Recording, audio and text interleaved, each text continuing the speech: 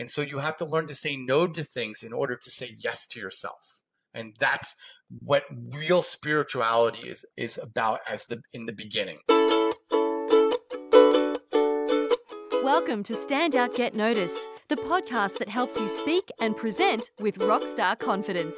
I'm Christina Canters, your host and founder of the C Method Communication Skills Training.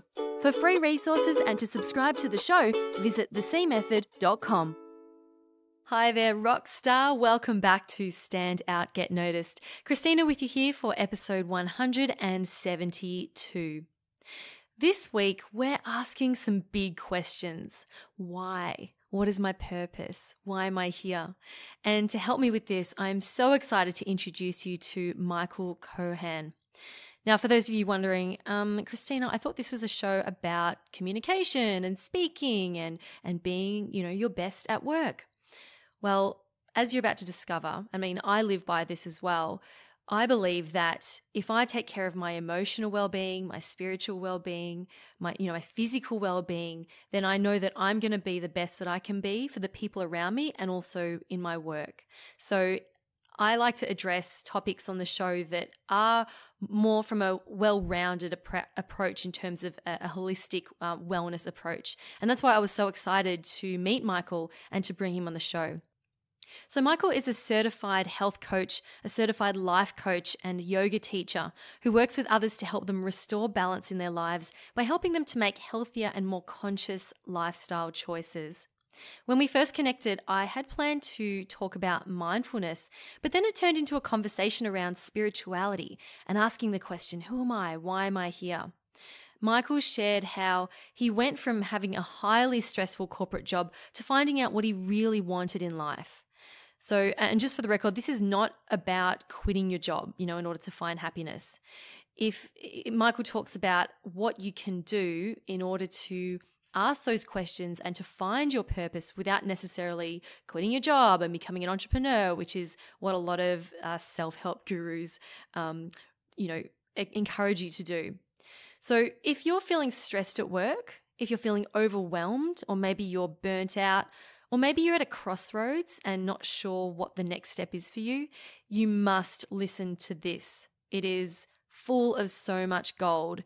And in fact you should if you if you can take out a pen and paper and take notes because michael shares a lot of really good um, ideas and and tips as well that you can implement but I warn you, Michael will not be giving it to you easy. He shares some harsh, harsh truths that you may find confronting. But if you are committed to making big changes in your life, then this is what you need.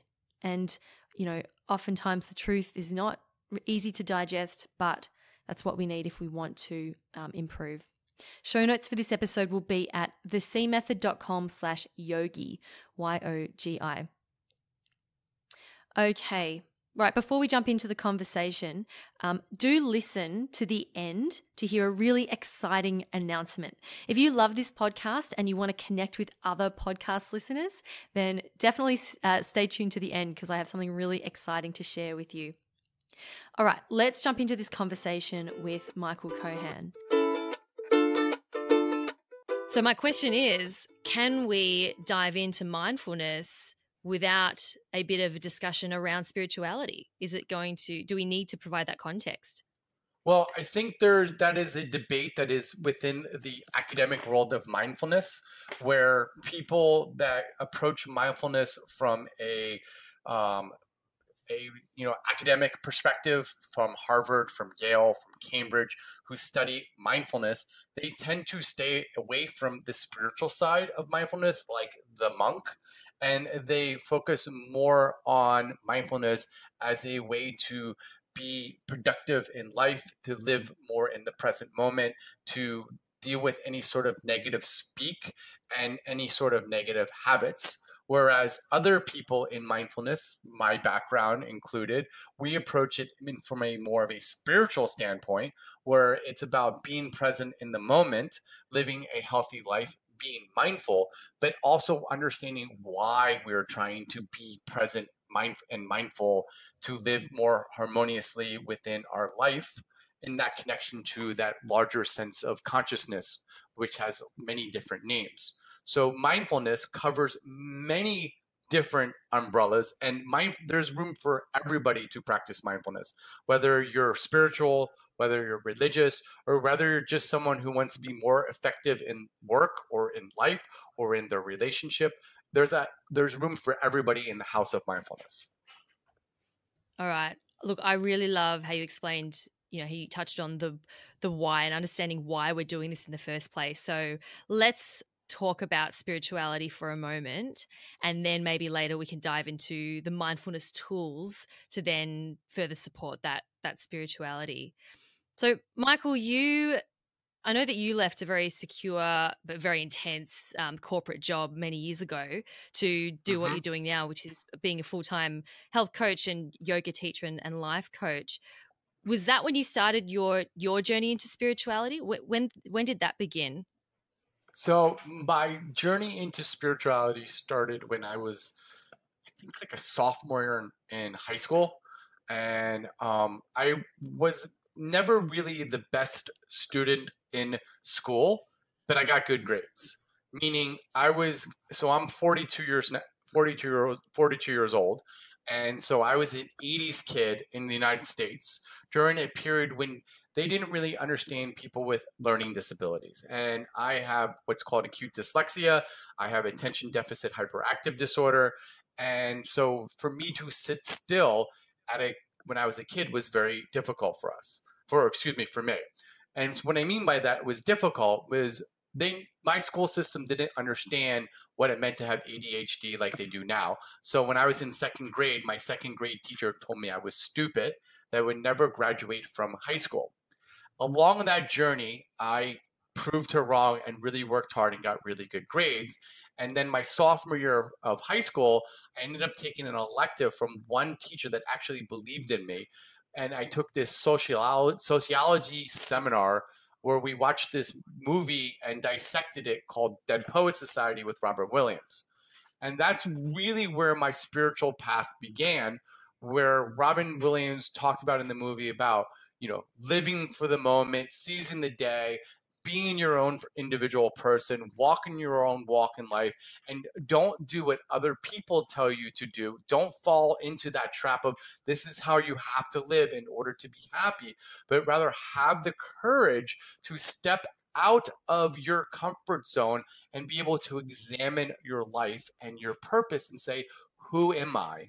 And what should I do with my life? That did not happen overnight after that. That was the beginning. And it took me another 15 years to get to the point where I was really into spirituality and mindfulness and becoming the person I am today. So from high school through college, I got what I, I followed that traditional path. I got a job, I went to college, I graduated from college, I moved into New York City, I had got a corporate job. I climbed the corporate ladder. I made a lot of money. I had a nice office. I had a brownstone apartment overlooking the park, and I was I had pretty much everything you can possibly want materially in the world. And I looked at myself and said, "Is that it?" I'm like, "What's my purpose? I make more money, get more stuff. I already have what I need. This can't be everything." And my friends and family kept saying, "Well, now is when you get married and have a kid," and I was like, "Well, I did that once. It didn't work out, and so that can't be the answer to find true happiness. So, mm. what am I supposed to do here? I got." I'm making a quarter million dollars a year. I'm 31 years old, which is like I'm, you know, I'm crushing it. And I just started questioning like what I was meant to do with my life. And that's where it really kind of like went into like overdrive. And when you say overdrive, what do you what do you mean by that? I just really got into studying and practicing.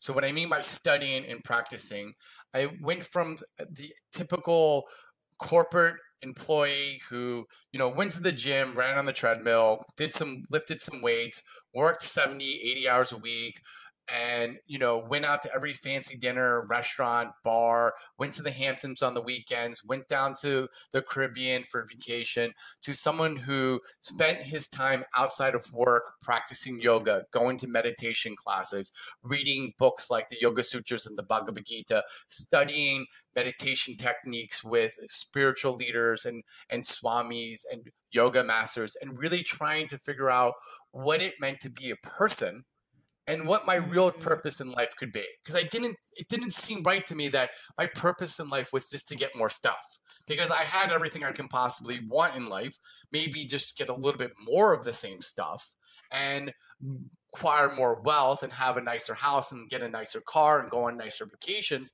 but i still didn't feel like whole i didn't feel complete i felt empty and then I looked at the other people in my office and I looked at people that were like eight, ten years older than me that were a little bit more successful. They were higher up the food chain. They were had the bigger title. I was on the track to be that person in 10 years. They were all overweight. They were all overworked. They were all old looking. They never saw their wives. They never saw their kids.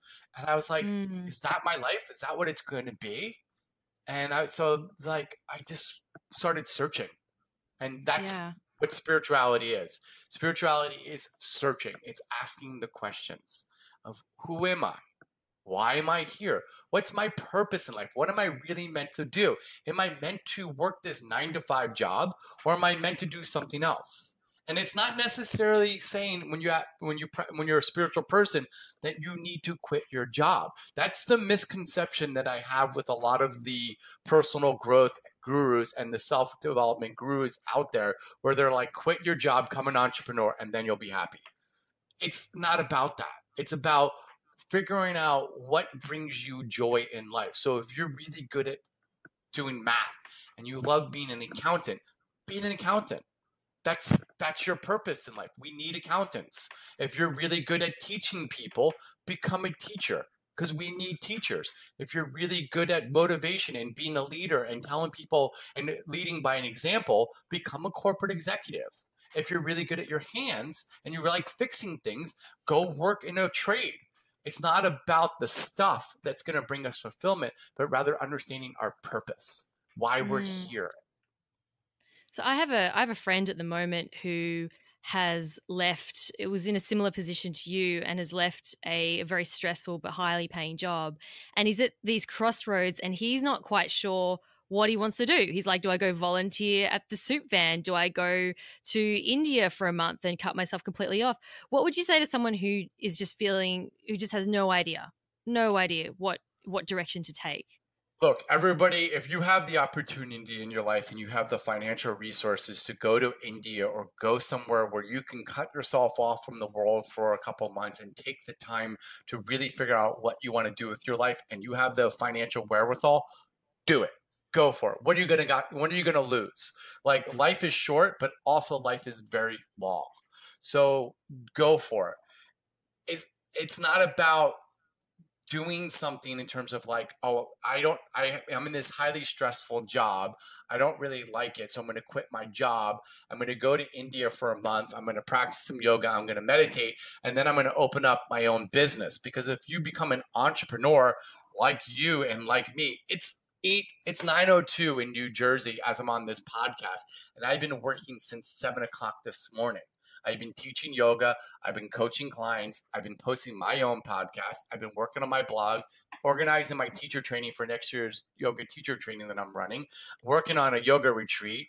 I mean, so I, I'm working 12, 15, 18 hour days, but I'm not stressed because I'm doing what I'm meant to do.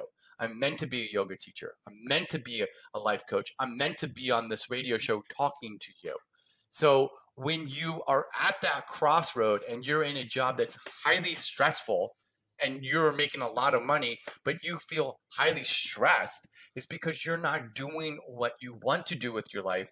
You're just doing what you do to get stuff, to get the TV that you don't need, to get the house that you don't need, to get the car you don't need, to go on the vacations that you can't afford, just for the sake because you think that's what you're supposed to do in life.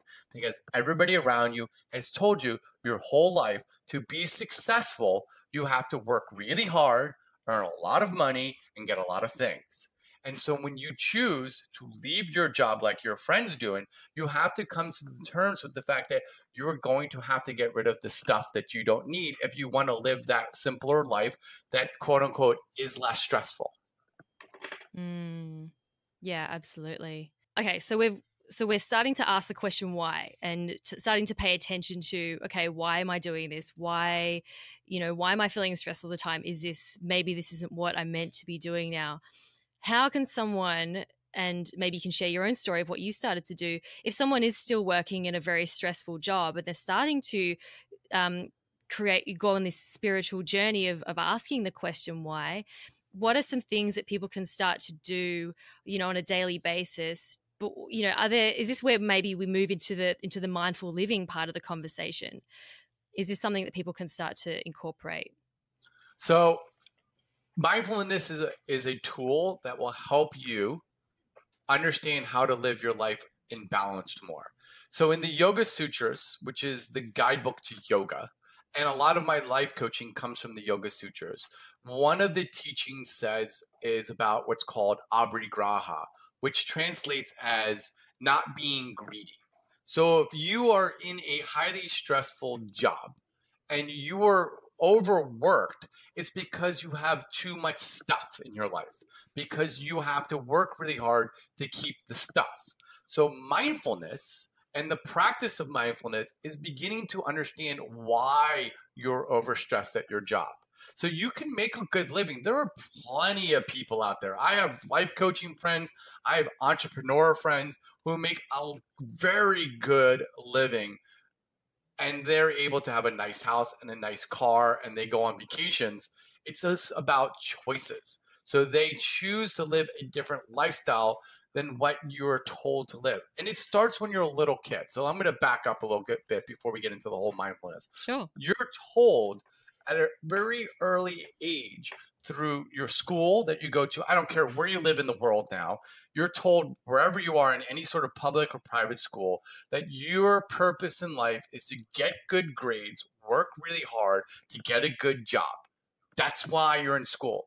And that's that's not what school sh- that's a part of school. But unfortunately, school now it does not go around and say, "Well, how should you live?" And what should you do to live a better life as a person and so mm. when at an early age you are already programmed to just think that in order to be happy in order to do well in life you just have to work really hard and you'll be happy and so the beginning of that journey where you sit there and you come to that crossroad, and it's going to happen with everybody at different points in their life. It happens when you're in your 20s, it happens when you're in your 30s, it happens when you're 40s, your 50s, and your 60s. Different points in your life, something is going to come up, then it's going to cause you to look at your life. It's going to be either a, a milestone in your life, like you're getting married, or you're going to have a kid, or you're going to go through some hardship like a loss of your family, like your parents are passing, or you get divorced, or you get sick due to living an unhealthy lifestyle, or you lose your job. There's going to be some reason that causes you to look at your life. And what happens is most people just skip right over it.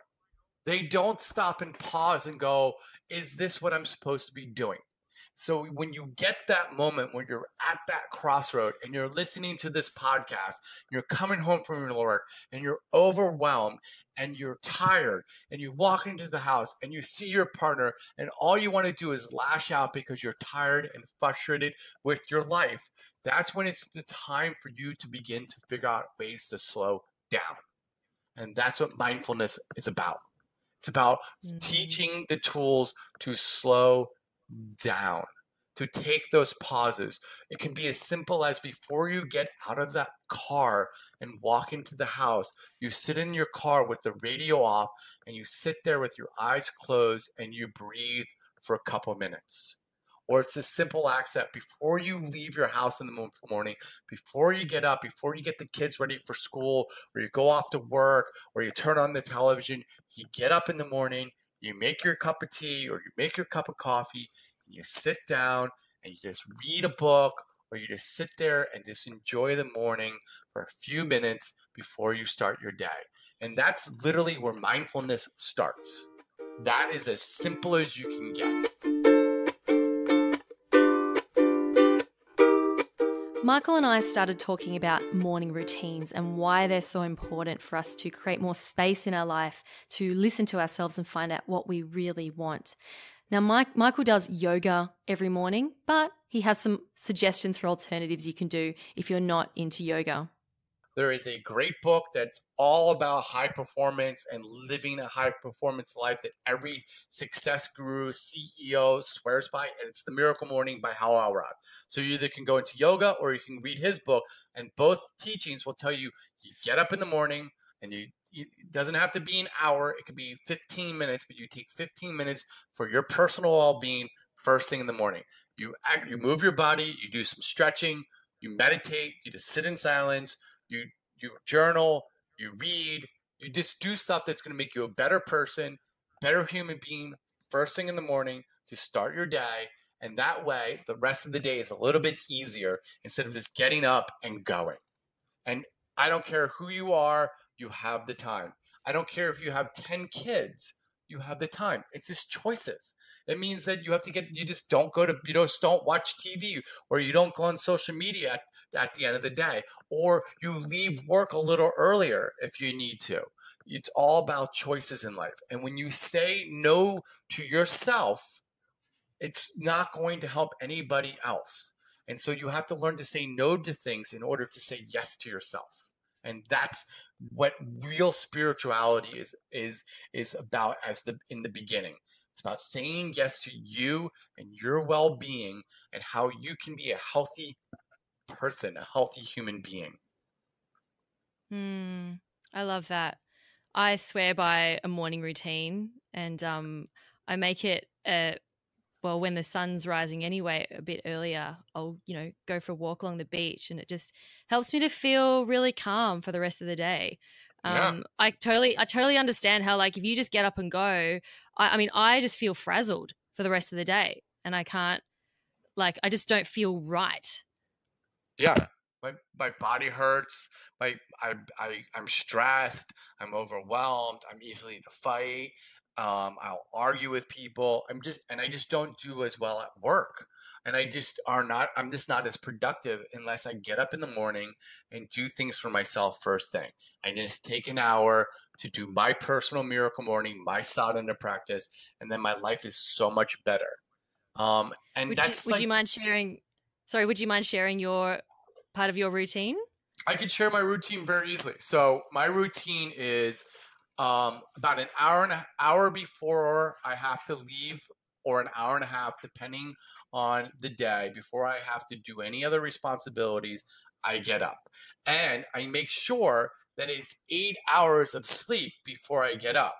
So the night before I go to bed, if I'm going to get up at 6 a.m., I'm my lights are out at 10 p.m.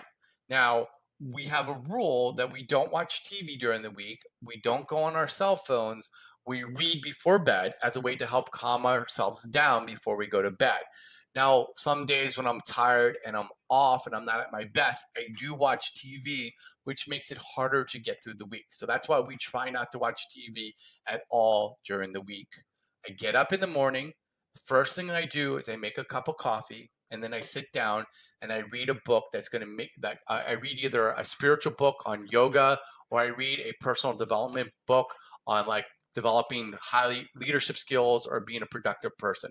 And the first thing I do in the morning is I read for about 20 minutes to a half hour because as everybody knows, if you want to be a leader, you read. That's just the truth. After I read for a half hour, I do a yoga practice, a yoga routine that takes me about 10 minutes. Then I move my body. I do what's called like a dance routine where I move my joints and my muscles. And then after that, I do different body cleansing practices, which are called kriyas, where I, I pump my belly to massage my organs. And then I do some breath work, which is called pranayama. Then I meditate. And then my partner and I, we read our morning mission statement about who we are as people. And then we read sacred texts like the Yoga Sutras and the Bhagavad Gita. And that's my morning routine. And it takes about an hour, hour and a half on a bad day. If I'm really slow, it'll take me about an hour and a half. But I can do it in an hour. Wow. That's awesome. I love it. It's so good. How how often would you say like what proportion of the time do you do you hit that every morning? I'm in the like last for you what's a good week? Yeah, um, in the last 3 weeks I missed last Wednesday. So like a lot of times people come up to me and when I'm working with them as a life coach, I, the, one of the first things I start tackling is the morning routine. And I hear 9 times out of 10, I'm just not a morning person. I'm a night owl. And I'm like, mm. that's just not true because your body doesn't know the difference between morning and night. The body doesn't know to go, oh, it's 11 o'clock at night. I'm, a, I'm, a, I'm going to be awake. The body doesn't know. It's the mind. And the mind's distracted by things like Facebook, social media, television, TV. These are all things that are designed to keep you awake so you will watch it longer. The light on your cell phone, the colors of the, the color spectrum on your TV, the color spectrum on your computer, they're all designed to look pretty and to keep you stimulated so you stay on for a longer period of time.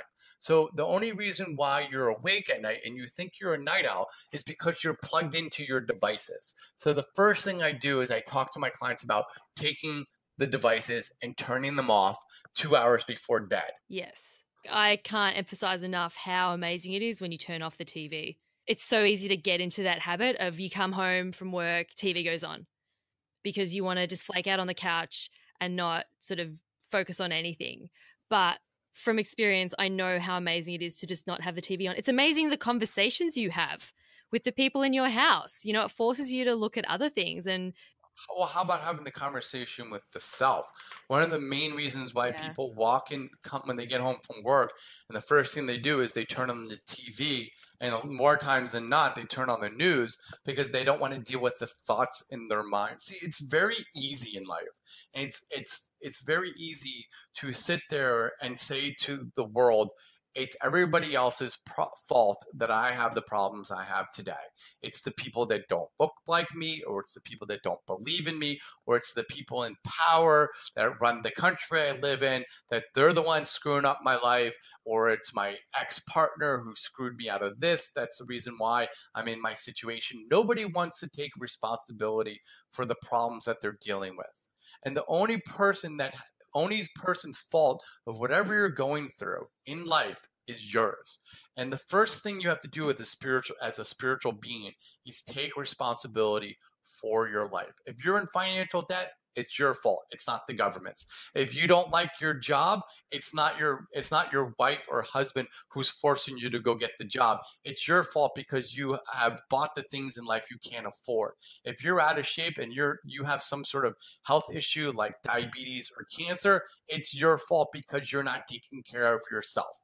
Now that's harsh because sometimes we do have things in life that are out of our control. Sometimes we have genetic precursors that we get sort of diseases that that we can't deal with. So if you're going through that, that's a separate situation. I'm talking about lifestyle ailments. And if whatever problems you have based on your lifestyle, the only person that can fix it is you, and you have to take responsibility for your life. And that's why when people come home, they want to turn on the TV because they don't want to deal with their problems. They don't want to deal with the wife that they have trouble connecting with or the husband that they don't see anymore. Or they don't want to have, they don't want to face the kids that are out of control. They just want to tune them out by putting them in front of the TV or face the financial problems of climbing out of financial debt because one day they woke up and they were like, whoa, how did I get this $10,000 credit card debt?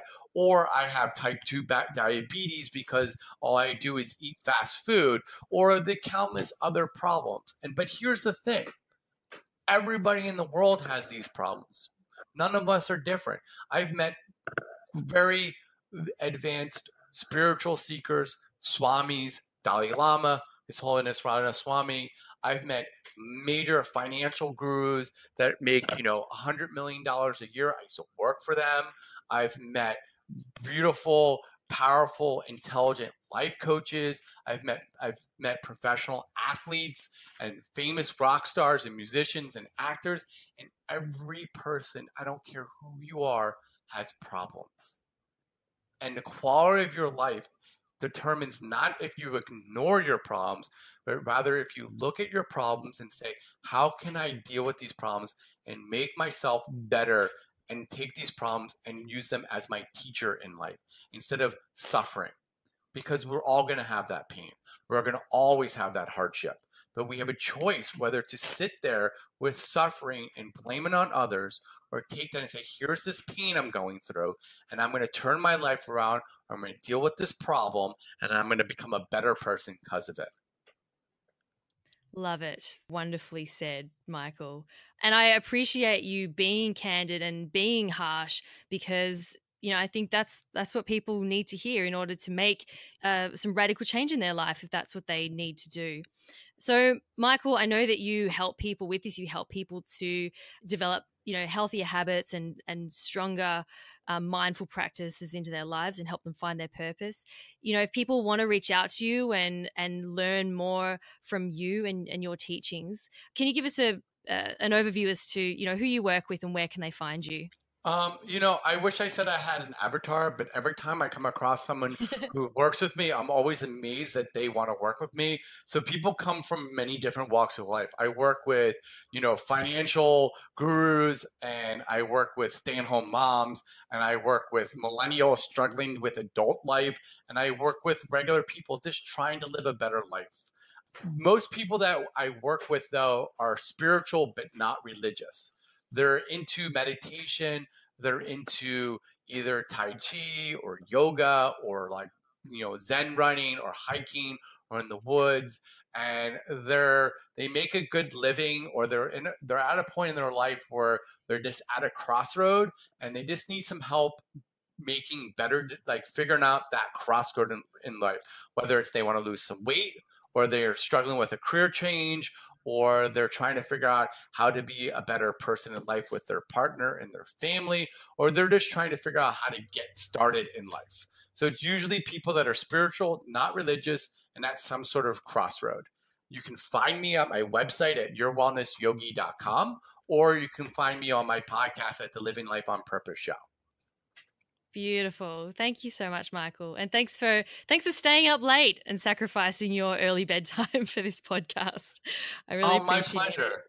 I, am grateful to be here, and thank you for having you on, me on. And you know, I hope uh, I gave some good knowledge for your audience to get them started. And you know, any fi- my final tip is, guys, girls, women, men, if you want to get started, just get up in the morning, sit down on a, your couch and just close your eyes and breathe for one minute and try doing that for 30 days and see how much of a difference it's going to make. One minute, 30 days, just breathing with your eyes closed before you do anything else, and you'll be amazed at how different your life is. Beautiful. Thanks again, Michael. Thank you. Big thanks to Michael Kohan for being such a wonderful guest on the show this week. I just loved his honesty and his willingness to share um, around his own journey and also how he helps his clients as well. You can find out more about what he does at yourwellnessyogi.com or simply visit the show notes at thecmethod.com slash yogi. Now, before you switch off, I would like you to think about one thing that you're going to implement that you heard from this conversation. Maybe it's as simple as sitting on the couch and breathing, or maybe you go and read The Miracle Morning, or maybe you make an effort to turn the TV off. Pick one thing. Or you might want to re listen to this podcast and take some notes to further cement what you've learned. I, I, suggest if you do one thing, it's it's going to be easier to implement than a whole lot of different things at once. So just implement one thing, and and like Michael said, see, you know, do one thing every day for thirty days, and see what difference that makes in your life. Okay, it's time for the announcement that I mentioned at the top of this episode. You've all been so patiently waiting. I have started a Facebook group. Yes, this is for listeners of this podcast and for people who have attended my workshops, essentially people who are familiar with the C method approach to, you know, professional development, speaking, communication, and people who are committed to their personal and professional development and who want to connect with other like-minded individuals in a supportive community. This podcast has grown so much and I feel like there's listeners all over the world and you all write to me and message me on different platforms and i just want to bring you all together so that you can meet each other because you're also awesome. So the facebook group will be a place for you to um, connect with other podcast listeners and also be in a safe space where you can share your challenges and your wins or perhaps ask for feedback um, maybe you want to share a video introducing yourself. Maybe you want to practice um, a speech or speaking to camera. You know, any of these challenges that you want to, you know, um, put forward to yourself. But maybe you're a bit fr- afraid to put it out there onto your, you know, your personal social profiles, or maybe um, at work you don't feel comfortable in that environment. This will be a, a safe environment for you to do that. Not to mention, you'll get direct access to me because I'm going to be in the group, of course, and I'll be uh, posting Facebook Live videos and sharing additional um, tips and ideas and challenges for, for people that are not uh, on this podcast as well. So I'm really excited about the Facebook group and I would love to invite you to join us. Um, I think it will be really a really wonderful um, resource and community. Um, I haven't actually finalized a name yet because I thought I might ask the people in the group to give feedback as to what they think it should be called. But for the time being, I'm calling it the C Method Rock Stars because that's what you are. So if you, I'll put a link in the description of this podcast to the Facebook group for you to join, and I'll also pop it in the show notes at thecmethod.com slash yogi. Otherwise, go to Facebook and search for the C Method Rock Stars. I look forward to seeing you in the group. It's going to be amazing. Okay, and that brings us to the end of this week's episode. Thank you so much for spending some time with me today and listening all the way to the end. You are amazing.